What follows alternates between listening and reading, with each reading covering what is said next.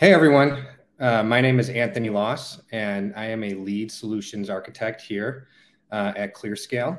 Uh, ClearScale is a premier AWS partner, and today um, we are going to dive into data lakes. We're going to talk about what data lakes are, uh, the importance of data lakes, how they work from a technical standpoint, and then finally, some of the use cases for data lakes uh, that ClearScale has implemented. So, very interesting topic today, one of my favorites to talk about.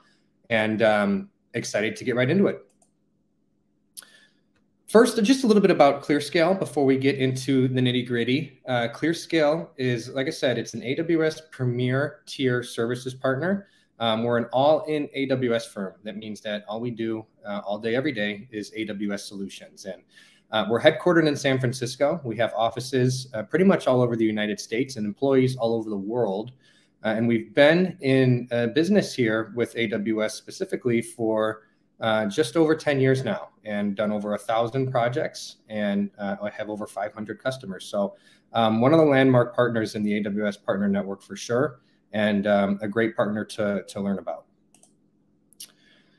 Um, regarding today's topic, it's there's a lot of buzzwords in in the topic of data lakes and the topic of big data in general. Uh, if you've been in the IT industry for uh, any longer than five minutes, you're going to um, hear the buzzword of big data and uh, potentially the buzzwords of data lakes, lake formations, uh, analytics, stuff like that.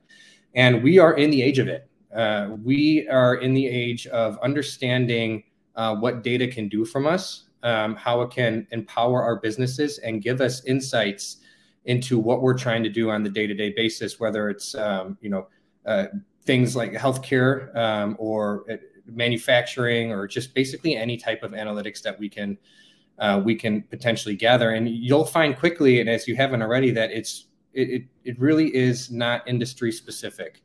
Um, big data is everything that we do. And now that we have access to this data, it, it kind of goes into, well, how do we leverage it, right? And we have all this data at our fingertips. How do we leverage this data and have actionable insights or provide our customers or internal user, users actionable insights to um, to manipulate and then uh, analyze the data at hand. And so that's how we kind of get into the term data lake. Um, and talking about what a data lake is is is it's a number of things, right? It's a, it's a very loaded term, data lake, but essentially what it is is it's a central repository of all your data, um, just as it sounds. And essentially, what that means is that you can have multiple sources of data all going into one centralized location, empowering you to have all types of outputs and anal analytical um, tools at your fingertips. Now, having said that, data lakes aren't specific to AWS or any other cloud provider in general. Data lake is a methodology. And so there's not going to be one infrastructure or one tool set um, that gives you a data lake. It's a methodology. You can have a data lake anywhere. Um, today, we're going to talk about what it means um, as far as having a data lake in AWS, but and then also the cases for a data lakes. But it's good. It's important to understand data lakes are not bound to any specific specific location or tool or anything like that. But what we are going to talk about is why AWS specifically um, is a great place for cloud-based data lakes and the case for those as well. And so when you talk about having a data lake in the cloud, specifically AWS, you have infinite scalability. You have infinite scalability. You have a ton of ways to uh, apply transformations to the data, which we'll get, get to in a second. You have a ton of tools that AWS provides you to um, run uh, artificial intelligence or machine learning algorithms uh, on that data. You have a ton of different API resources that you can use to query the data.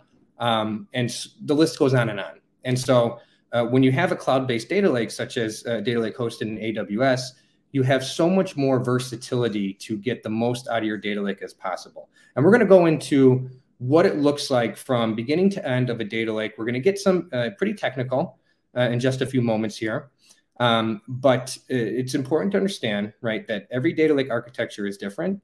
And um, it's important to understand that cloud-based data lakes, such as AWS, really empower you to uh, take advantage and leverage all of the new uh, and improved and uh, available solutions that are out there to be able to manipulate and analyze your data really, really efficiently. Okay, so now let's get into what a data lake is and what makes up a data lake. So every data lake starts with a source. Every single um, data uh, data origination or data lake, there has to be data coming in from somewhere. And so uh, it, it, a source of data can be any application or system that actually produces data. So a lot of times um, data can come from a third party database.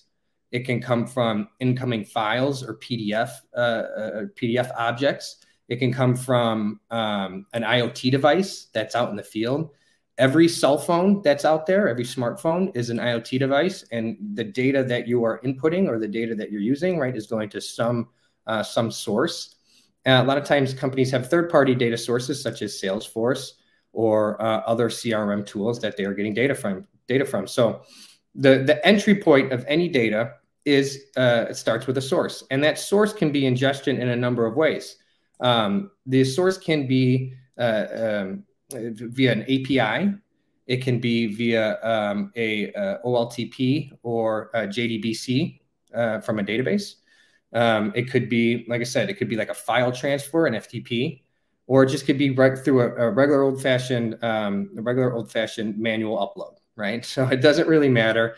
The thing that's important as far as the data lake is concerned, in order to automate it, is to have an automated push or pull source to get that data, however it is, into the data lake. Okay.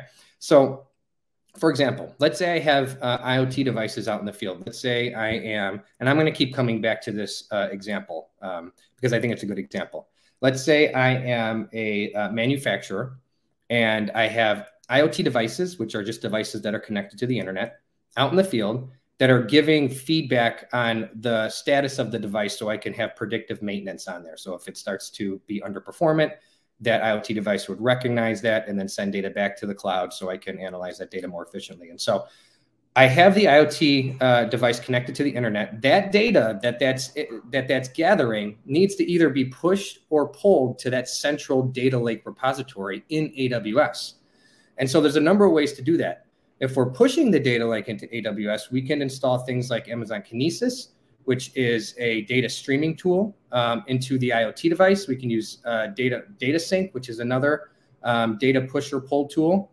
Or if we're specifically polling, we could use a, a, a, Lambda function, which is a serverless compute resource to go out and um, specifically get certain data either uh, continuously or in batches to be able to go out and get that data and bring it into the cloud, into our central repository as raw data so that we can have um, different, uh, different steps and transformations after that. So we have the data source, important to remember, you have your data source. In this case, it's the, uh, in my example, it's the IoT source. And you have mechanisms to go out and get the data or for the IoT source or data source in general to push the data to AWS. And remember, it's a central repository. So all the data that's coming in is raw. Okay, it could be JSON files, could be CSV files, could be PDFs, could be database tables. It's coming in raw into a central data repository. And really, let's talk about what that means. This is where I like to say it's the heart of the lake or the deepest end of the lake, right? Um, all of that data that's coming in via push or pull from your uh, from your source data location is going into Amazon S3. That's where the data is coming into. And usually it's a it's a bucket or series of buckets you can think of as a as a repository of this data to exist in. And so as this data is coming in, it's coming in raw, right? It's coming in, like I said, as, as JSON files, maybe there's some CSV files, whatever it may be, it's coming into a central repository. And now that it's into the data lake, and this is the heart of the data lake, it's inside your uh, central repository. Now is where we can get creative. So depending on what our data output should look like, this is where um, this is where we apply our manipulation tactics to it. So once the data is in a central repository, or we can call it a raw S3 bucket, we can apply transformations to that data as we move it along the process of being able to uh, be easily queryable or easily loaded into uh, a data warehouse or another database, which we'll get into here in a second. What are transformations? Transformations um, are, like I said, any ways to manipulate the raw data into what we're trying to achieve down the line via whatever analytics you're trying to see or whatever searches you're trying to be able to empower your users or um, internal employees to be able to get data. Transformations can include standardizing and format. So, for example, if you have JSON and CSV, maybe you want to standardize those. You do you apply some transformations to, to standardize and format. You could be joining tables or joining data. You could be uh, creating an error table. Um, you could be um, standardizing in uh, columns and or rows.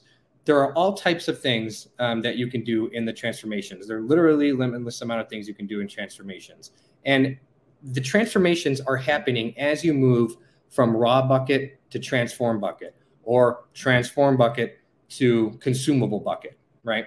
There's different steps in your data lake. This is why I said every data lake architecture is a little bit different. So there's different steps um, in a data lake depending on what your what your expected output would be. And so you apply these transformations as you move the data from point A to point B to point C to point D. And that's done through a series of tools within AWS. This is why AWS is so important uh, when you're when you're building a data lake. A lot of customers like to automate this process as much as possible, and so they have serverless Lambda functions that are triggered every time new data hits the raw bucket. So data comes in from the data source, hits the raw bucket. S3 has an event notification, triggers a Lambda function to run its script, your transformation script. Let's say it's a formatting script to transform that data and then dump it into a transform bucket where your data is a lot more uh, consumable. And that process will run for as long as you need it to run, as many buckets as you need, however you need to have your data. Sometimes data is uh, uh segregated based on customer ID number. Sometimes uh, data is segregated based on um, infrastructure of the company uh, versus um, you know different market segments. And say you have a marketing team or an HR team, and the data needs to kind of break its way apart. Copies of the data need to be made all types of flexible stuff that you can do with this data. And this is why a data lake is so important because it empowers you to be able to manipulate your data in many, many different ways. Okay. What I said earlier, as far as getting the data ready to be um, put into a pipeline or into another database or perhaps even into a data warehouse, this is where that happens. So I'm sure as you've been in the IT industry or if you're uh, a, a, database engineer or a system admin, you've heard the term ETL. Uh, ETL means extract, transform, and load. And so oftentimes when we talk about ETL within a data lake, it's happening after that data is a little bit transformed in S3, and now we're loading it into either um, a database or um, a, data warehouse. Okay, so for example, I have my IoT devices out in the field, just like I said, they do predictive maintenance. I'm getting those that data into my central data lake repository. They're coming in as JSON files. I need to do some formatting and some other transformations to that data. I get it to a transformed or consumable bucket. Now, from here, I need to replace this in a database so I can have fast predictive analytics down the line. Okay. And so this is where I'd use an ETL tool to take that transformed and prepped data that I did in the data lake and quickly load it into a database or a data warehouse so I can do uh, high powered analytics and, and predictive maintenance, like I said earlier. Now, how you would do that is by using an ETL tool. AWS is great at offering ETL tools. Uh, one of the most popular ETL tools are, uh, is M uh, AWS Glue. What this does is it sends crawlers into your S3 bucket. Think of crawlers as just how they just how they sound. Uh, tools that go out and capture the data in S3, and they build tables based on uh, artificial intelligence and how it should be, and they load that into a database or a data warehouse. Okay, it's very automated. It's very easy to use, um, and it empowers a data cataloging methodology. Another tool that AWS offers is EMR, Elastic MapReduce uh, Elastic MapReduce applies a Hadoop framework to be able to process data very quickly and very, uh, very efficiently into a database or a data warehouse. And there's all types of functions and or scripts that you can implement into Elastic MapReduce um, in order to load your data into AWS. This, along with AWS Data Pipeline, would be for high volumes of data, data that you need real-time analytics on, data that's constantly uh, coming and going in your AWS account you're going to see enterprise enterprise customers use Amazon EMR, uh, that Hadoop framework. Sometimes they use Apache Spark within that EMR cluster. Other times I use some other tools within that EMR cluster, but this is for high, high amounts of data. Data pipeline, same thing, essentially. Data pipeline is just how it sounds, a pipeline from the S3 bucket to uh, a data warehouse. There's a number of transformations that you can include in data pipeline. That's not as popular as, as you'll see as AWS Glue and uh, Amazon EMR being used.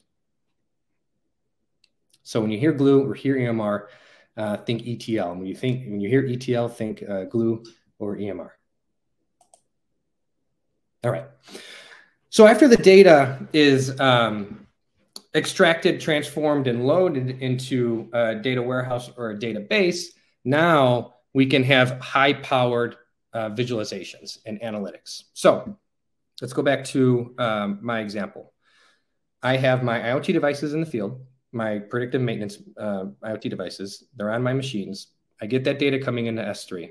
I need to do some formatting. I get it into a consumable bucket.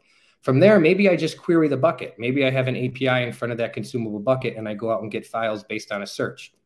That's what a lot of consumable buckets are for. But I need to go one step further. I need to get it into a data warehouse so I can have analytics. Now, I'll use things like Amazon Glue or AWS Glue, I should say, uh, to crawl through that consumable bucket and put it into a data warehouse. A data warehouse is similar to a database, but it's made for high powered analytics. Database is inventory, data warehouse is analytics, the way I like to think of it.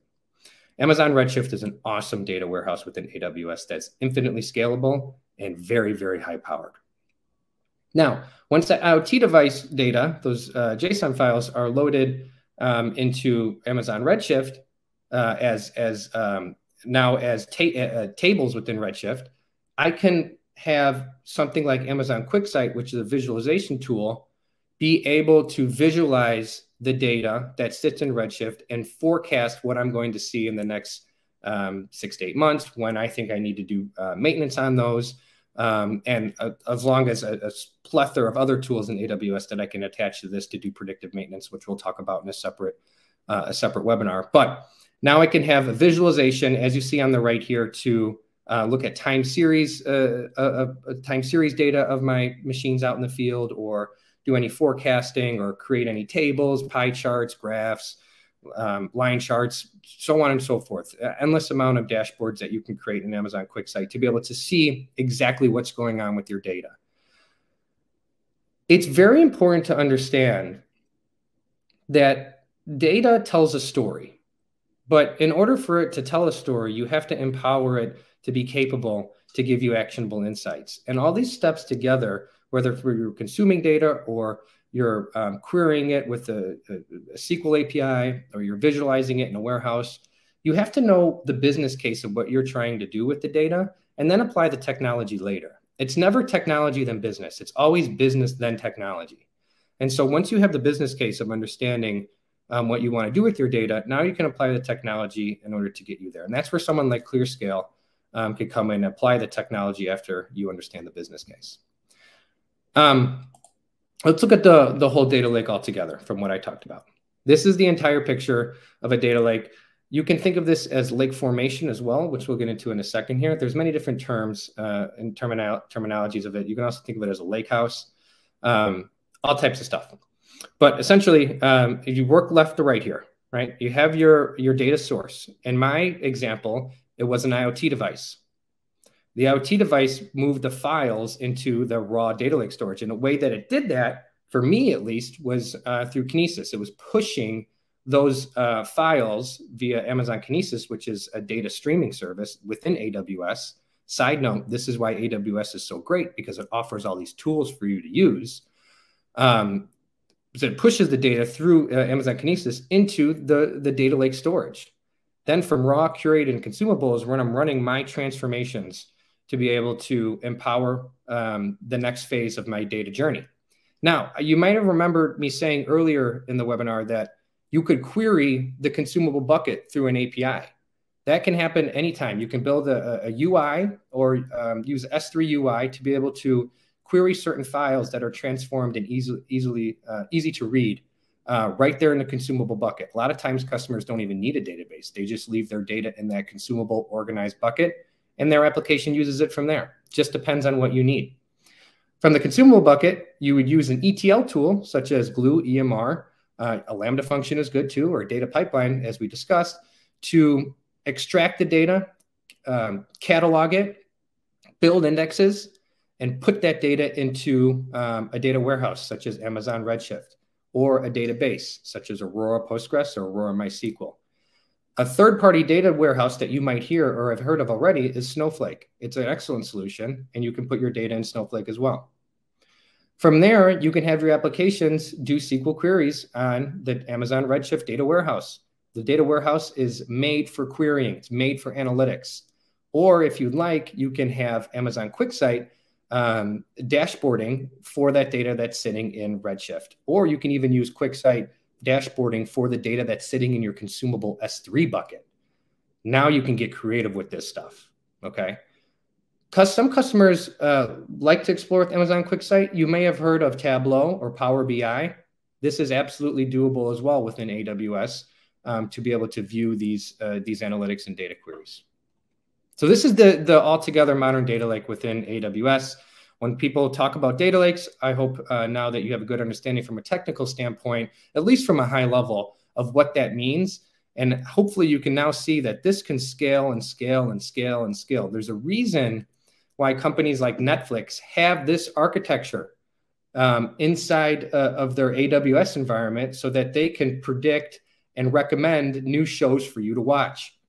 Okay. The data source in that particular case is your living room that's where the data source is. You're you're watching things and um, you're pushing things to Netflix's AWS cloud, and they're running analytics from there. So there's some challenges with building a data lake, as you can imagine, right? Um, you have to have a, an understanding of um, certain tools uh, that you can leverage. Um, you have to have usually you have to have a, a diverse sources uh, of data flows, and you have to have a good amount of data coming in, but not always. You have to understand what transformations you need, and you have to write those transformations in Python or Node.js or um, R, depends on however you want to write those. And that can be time consuming as well. And it can be, um, if you don't do it right, it can be costly. Um, so you want to make sure that you're having cost efficiency when building the data lake. This is where ClearScale comes in.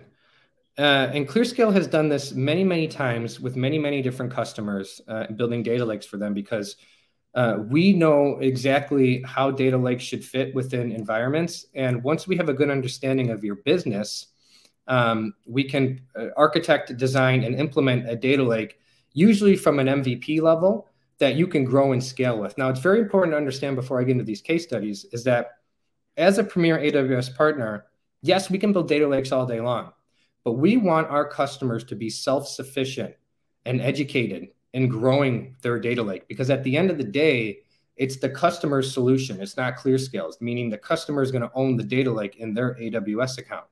And so the customer needs to be able to, to understand how to manage the data lake and also how to grow the data lake with efficiency and cost optimization. And so we want to empower our customers to do that by usually providing a minimum viable product and teaching them how to grow and scale this thing. USA Baseball, let's talk about that one for, for just a quick second. So USA Baseball is an interesting, um, interest, interesting use case. And essentially what was going on there is they, um, I should probably explain what USA Baseball is. They're, uh, uh, they're for amateur baseball. And basically what it does is partners with the MLB and overseeing more than 15 million players uh, across the United States.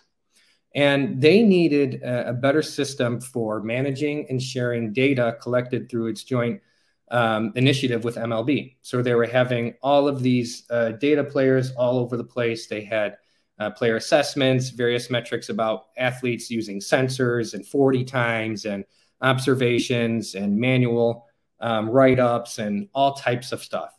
A lot of this data was CSVs and PDFs. And so they were coming into um, coming into USA Baseball's database, and there was just no way for it to continue to grow and scale. Um, it was very inconsistent data. They wanted uh, the MLB and its partners to be able to find more relevant information faster. And so ClearScale consolidated uh, all this data into a data lake um, for querying. Uh, in, in, this case, we made an API uh, for SQL querying um, for their partners in MLB to find relevant information really, really quickly. Um, the tool that we used for this was Amazon Athena. If you want to go ahead and uh, look up Amazon Athena, it is a SQL query tool that is meant to query S3 um, through a SQL API. So uh, just how you would query a database, you would query S3. And this is a really good use case as saying a data lake, you can stop at the consumable S3 bucket and use your S3 bucket as if it is a database. Imagine the cost savings there. Because you're prepping the data and putting it in an environment that's really, really cost efficient, um, you're now saving a ton of money uh, instead of having to pay for a database. So this is what was uh, enabled for um, USA Baseball, and um, it turned out to be a really good output. So uh, feel free to watch the video um, when you have a chance, and you will uh, hear directly from them. Uh, C4ADS, uh, the Center for uh, Advanced Defense Studies. So uh, this is a nonprofit organization uh, that's in Washington D.C. and is its main goal is to provide data-driven analytics and evidence-based reporting on global conflict and transnational security issues Okay, pretty important stuff. At least it sounds pretty important. they needed a solution that uh, included evidence based and data driven analytics concerning global conflict um, for their partners. Okay. And so they needed to determine uh, certain patterns of what they've seen in the past. They needed to forecast what they might see in the future. And they needed uh, high powered analytics um, and searching capabilities for all the data that was coming in. The data that was coming in was a plethora of data formats. It was PDFs, it was emails, it was Microsoft Word, Excel files, application logs, XML, JSON files, literally almost every file that you can think of. And think about emails coming in for a second. Think about how dirty emails are as far as data structure. Um, hopefully not the content, more as far as data structure, right? You have signatures, you have um, disclaimers, you have pictures in your signature, it can be uh, very, very messy, forwarding headers, so on and so forth. So imagine trying to search through that stuff. It's kind of a nightmare. Um, ClearScale was able to implement a data lake for transforming and enriching. Uh, enriching is another word for combining. Combining data, scrubbing data, getting rid of useless information as it rolled through the data lake process from bucket to bucket, and um, was able to ex, uh, extract the metadata and put that into uh, a serverless database called DynamoDB, uh, which is a NoSQL database, key value store, and the rest of the data in Elasticsearch, um, which is now Amazon OpenSearch, um, which is AWS's managed service for Elasticsearch, um, for querying that was required. And along with that, ClearScale also made a user interface for users to query um, Amazon OpenSearch very, very easily. And so they had all this data that was coming in that had to be formatted correctly. It had to be joined correctly. It had to be scrubbed. It had to have um, change data capturing and error tables. And it needed to go through mul this multiple step process, needed to have correct metadata. The metadata needed to go into a NoSQL database. The data itself needed to go into uh, an OpenSearch database.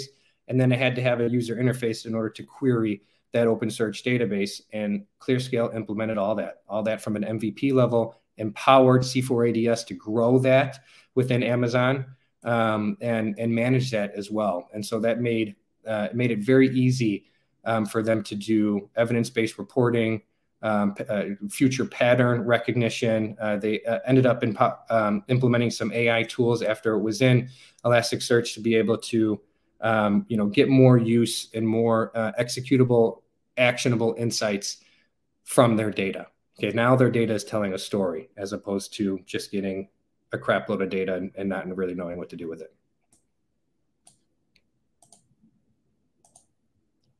SmugMug.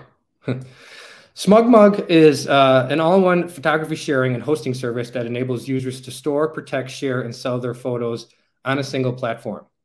Um, the interesting thing about uh, SmugMug here is that they acquired another company, Flickr, and Flickr had uh, transactional work workloads loaded uh, into Aurora, Amazon Aurora, uh, as OLTP. So Flickr had all these transactional workloads, um, and after SmugMug acquired them, they said, "Hey, we already have an Aurora database. Let's just put all this in our Aurora database and use it as OLTP, uh, online uh, transactioning uh, transactional protocol." And so um, that was a problem because Aurora is not really meant for uh, OLTP and it couldn't couldn't scale. So they, they uh, yes, they uh, SmugMug leveraged uh, read replicas within Aurora, which is just copies of the database mentally made for for for application reads, but it couldn't substitute. You know, it didn't offer the fully featured o, uh, OLTP, and it could not handle the terabytes that Flick, uh, Flickr had gathered and soon to continue to gather. And so they needed to extrapolate this data. They need to put in a central repository. You can you can start hearing how data lakes uh, have a pattern to them they need a central repository and they need to manipulate the data based on the different use cases for that data. And so uh, ClearScale built the central repository data lake, implemented a Redshift um, data warehouse, uh, implemented step functions, uh, which are Lambda functions, to be able to do those transformations um, in a uh, time timely based manner, which is why step functions uh, exist. They're just basically Lambda functions that run on a, a schedule and run in steps as a state uh, state machine. Um, and, uh, and it really enabled SmugMug to have more performance, scalable OLTP solution through Redshift um, and analytics for such activities. So uh, it, it broke apart, loosely coupled that data, uh, had different destinations for different data uses, usage, and eventually um, had more performant applications. Um, you know, addressing the trend for uh, with AWS Lake Formation. So lake formation, uh, think of it like I said, there's data lakes, there's lake formation, lake house, right? We're all really kind of talking about the same thing, to be completely honest with you. Lake formation is a, a, a, tool within AWS that um, it, it, helps accommodate uh, your your start of the, of the, data lake process, right? Um, and so when we talk about uh, data lakes, it's okay to think about lake formation or lake houses because essentially um, what we're talking about is the automation creation of a data lake. So this is where it gets uh, super interesting. Um, ClearScale, like I said, um, ClearScale is fantastic at building data lakes for our customers. Um, we do we do this very very often, uh, and we empower customers. Most importantly, we empower customers to be able to manage the data lakes themselves moving forward and understand what's in their environment, how to build, how to innovate, and um, how to operationally uh, manage their data lakes. And so, uh, our offering is a six week engagement um, that we talk about the uh, we talk about the business use cases, the roadmap um, for the end state architecture. We uh, take a look at the data, the data sources, um, the, the, analytics that you want to get out of this, or the this the the um, searchable queries that you want to get out of this, so on and so forth. Then we deploy the data lake usually via infrastructure as code. Infrastructure as code is something that we like to do here at ClearScale. It empowers um, automated way of provisioning your AWS resources, um, and you're treating your AWS resources as if it is application code. Now, there, uh, I will definitely get into this in a separate webinar, but um, when you hear infrastructure as code, just think of provisioning and launching AWS resources in a way that's automated. We'll go ahead and, and provision the infrastructure as code for your data lake.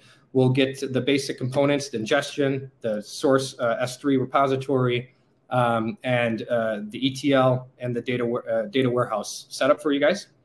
Um, we'll provide a minimum amount of uh, tran transformations, um, such as data joining or format changes, and uh, some sample dashboards and sample queries, so that you can see how uh, how you can visualize your data and how to build this more uh, in the future. And so, obviously, at the end of the engagement, we want to provide our customers with recommendations on what to do next, but also run books on how to on how to incorporate more data sources or how to incorporate more transformations or let's say they want to have an API down the road to be able to query the consumable S3 bucket.